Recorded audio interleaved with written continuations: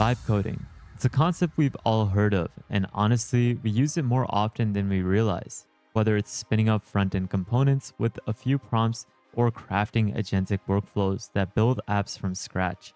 AI assisted development is here and it's thriving. But there's one major issue I've consistently noticed across almost all AI dev tools. They can generate functional code, sure, but when it comes to structure, design, and visual elegance, it often falls flat. Ask yourself this Would you proudly ship the UI that most AI models or tools generate out of the box? The answer is most likely going to be not really, and you're not alone. That's why I'm excited to introduce to you the first ever open source AI design agent, and it lives directly within your IDE. Allow me to introduce Super Design, the cursor for designing. Super Design is an open source powerful AI design agent built for developers and designers alike. It lets you generate UI mockups, wireframes, and component layouts. Works directly from natural language prompts and seamlessly integrates with whatever IDE you have, whether that's Cursor, Windsurf, Claude Code, and even plain VS Code. With Super Design, your IDE becomes your design studio, where you don't need to actually switch tabs or export messy designs. It's fast, native, and open source. It's something that you can install really fast and it's simple as just simply clicking on this install button. But before we even do that, there's a couple of features that I want to mention. There is a product mock where you can instantly generate full UI screens from a single prompt. You can generate multiple UI components from buttons to different reusable components that could be used in different ways. You have wireframes that it could actually create, fork and iterate different things where you can duplicate and evolve designs easily and you can even prompt to the ID to copy the prompts into your favorite ID like Cursor, and then you can generate more from it afterwards. You can even connect it if you have it integrated with an ID to work on the backend system for the components that you generate using Super Design. I just discovered a mind-blowing AI tool that changes how we work with videos forever. Most AIs can generate video, but they can't actually understand or remember it at scale. That's where Memories AI comes in. Built by two former Meta researchers and powered by the world's first large visual memory model, Memory AI is going to give AI something it's never had before true video memory with unlimited context. For example, I can simply search up something like a white wearable camera and it will rapidly go ahead and instantly provide frame perfect answers. In this case, you can see that it provided a catalog of different videos of a white camera. And we're talking about millisecond accurate recall, zero hallucination, and cross video search that lets you find anything, even a smile, across entire libraries. My favorite is the video chat with persistent memory. It's like Notebook LM for video. You can chat with your footage across multiple videos. No re-uploads, no lag. Creators, marketers, researchers, even developers this is your visual memory layer for the AI age.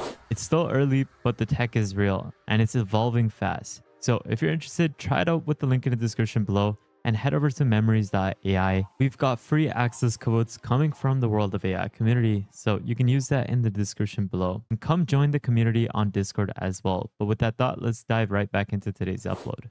Let's now get started and showcase how you can install it.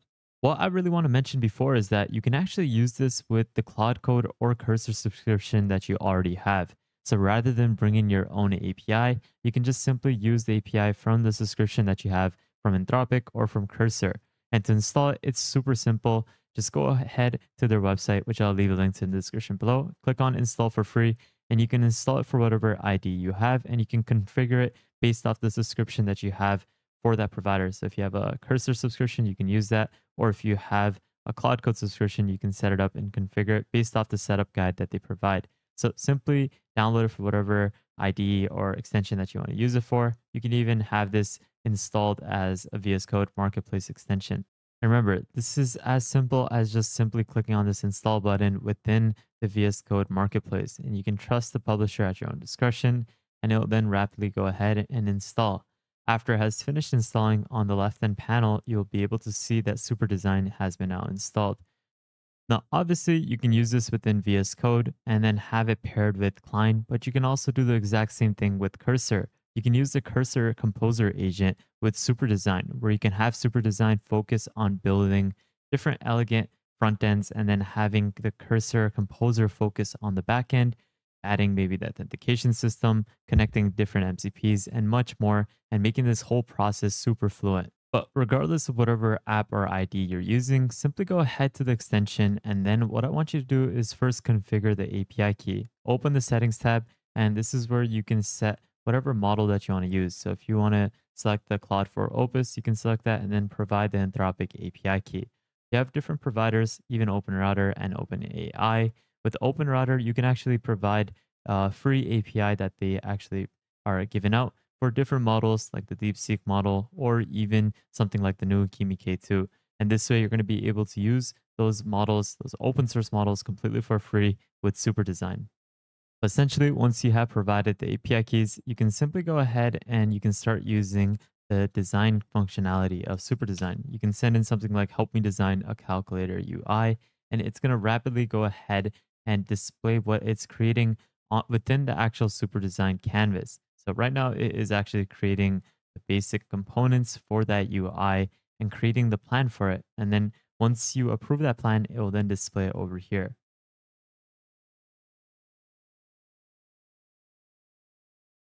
So now what you're seeing is the theme that it's focusing on. It is also working on the UI components. So you can see that it is working on creating these different external components to add to your design. And this is where you'll work on the brand, the surface, the interactive colors, as well as the data colors, as well as the different components. And after it has written the code as well as the design component, you can then visualize it within the super design canvas. And this is the component that it was able to generate. Now, let's open this up to see what more can you do to this. There's actually a lot of features that they provide where you can customize different components within this canvas itself.